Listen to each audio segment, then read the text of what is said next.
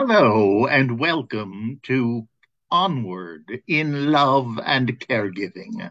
I'm Greg Johnson. I'm the president and CEO of GJP International. And here in New York, I have the great privilege of serving as the chief advisor to the CEO of Emblem Health for family caregiving. Yesterday, here in America, was the National Day of Prayer.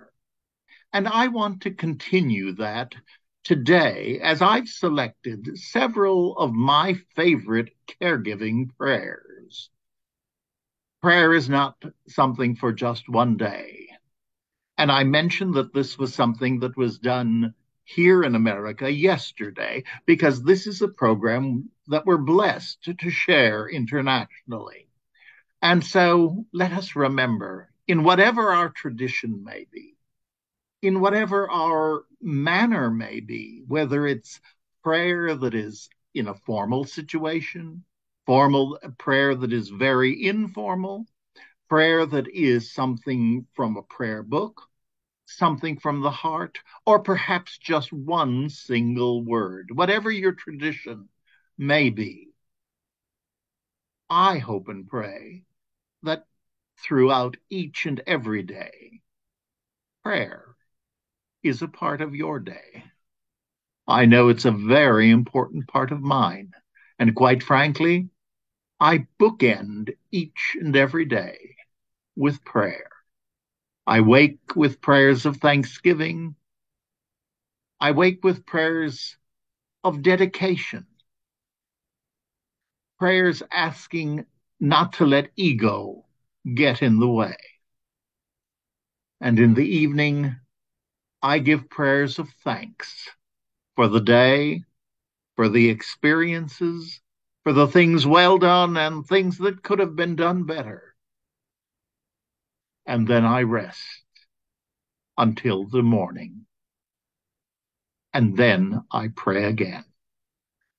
I suggest you consider that as well. I have found it enormously beneficial in my caregiving journey and I find it that still. Now, this morning, I'm going to begin with a prayer for Ukraine. Once again, it is extremely important that in prayer we all pray for the peace that is so desperately needed. So please sit back comfortably, preferably your feet on the floor, and perhaps your hands palms up as we receive the energy of the universe. God of peace and justice, we pray for the people of Ukraine today. We pray for peace and the laying down of weapons. We pray for all those who fear for tomorrow, that your spirit of comfort would draw near to them. We pray for those with power over war or peace, for wisdom, discernment, and compassion to guide all of their decisions. Above all, we pray for all your precious children at risk and in fear, that you would hold and protect we pray in all the holy names of God. Amen and Amen. Before I share with you the group of prayers that I have loved, I want to share something that was sent to me by one of you. It's simply titled Caregiver, and it was written by Lee McCurley. Now, that was not the person who sent it to me. It was sent to me by someone from Switzerland. Caregiver. I am the caregiver, the watcher, the guide. I walk down the hall with you by my side. A smile, a laugh, a hug, or an embrace. I watch the worry fall away from your face. I am the caregiver, the watcher, the guide. I walk down the hall with you by my side. I am your compass, your shining North Star. I try to remind you of just who you are. I am the caregiver, the watcher, the guide. I walk down the hall with you by my side. Pictures and letters, music of old, keep your mind warm and away from the cold. I am the caregiver, the watcher, the guide. I walk down the hall with you by my side. The routine of night shows no wear and tear. The light of morning soon we'll be there. I love that.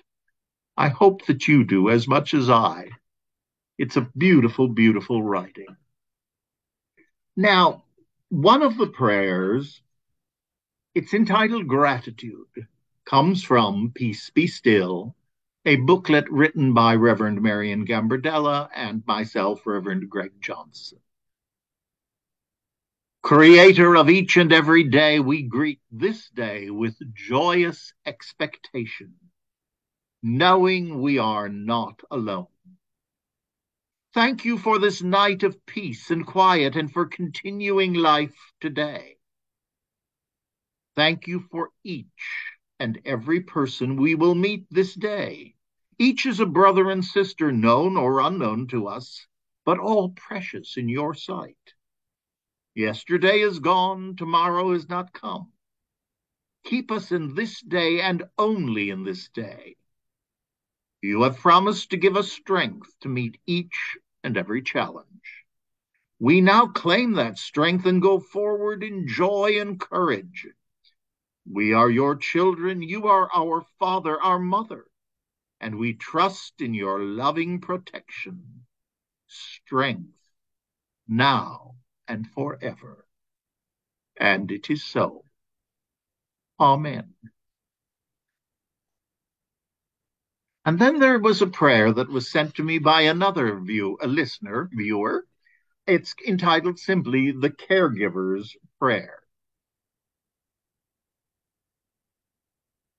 Compassionate and healing God, help us to see your face in the faces of our sisters and brothers who are sick or injured. Guide us to reach out to them with hearts of compassion and hands which serve their needs. When they are anxious, help us to know how to reassure them. When they feel alone, help us to notice and be present. When they feel confused, help us to listen and assist in finding answers to their concerns. When they need comfort, Help us to communicate care and understanding. When they are weak or discouraged, help us find ways to refresh their spirits. When doubt or darkness touches them, give your light to guide them and lift them up. Help us as caregivers to always turn to you as the source of our strength and compassion as we seek to serve the needs of our brothers and sisters who are vulnerable. Amen.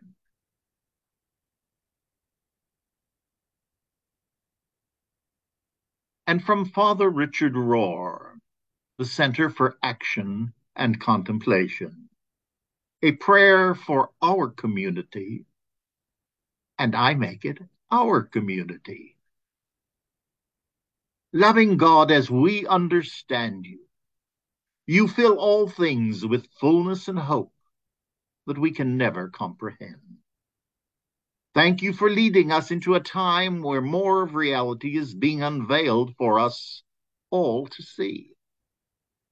We pray that you will take away our natural temptation for cynicism, denial, fear, and despair. Help us have the courage to awaken to greater truth, greater humility, and greater care for one another. May we place our hope in what matters and what lasts, trusting in your eternal presence and love. Listen to our heart's longings for the healing of our suffering world. And we add our own petitions. Knowing, good God, you are hearing us better than we are speaking. We offer these prayers in all the holy names of God. Amen. And a prayer that I have used before on these programs, truly my most favorite prayer. And we conclude our broadcast with this. O Lord, support us all the day long until the shadows lengthen and the evening comes, and the busy world is hushed, and the fever of life is over, and our work is done. Then in thy mercy grant us a safe lodging and a holy rest, and peace at the last. Through Christ our Lord. Amen. Thank you for joining me. And just a reminder, next week, May 12th, I will not be doing the broadcast. Next week, I am devoting completely to the writing of a talk which I have been very honored and invited to give to the International Federation on Aging at their global conference in June in Bangkok. Now, doctors aren't going to let me travel, so I'm going to be doing it by uh, means of um, Zoom, but I will have the great privilege of sharing our work begun with Emblem Health. It was their idea they wanted to keep caregivers caregivers. And for the last 24 years, I've had the privilege of leading that initiative and taking it to other parts of the world. And so I'm going to be sharing with these wonderful folks. But I need a period of concentrated time where I can write and rewrite and then work with others who will be helping me. So we will return with this broadcast two weeks from today, May 19th. In the meantime, let us remember each and every day onward in love and caregiving. Namaste.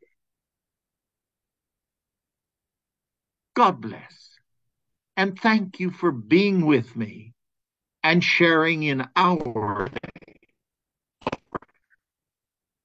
God bless.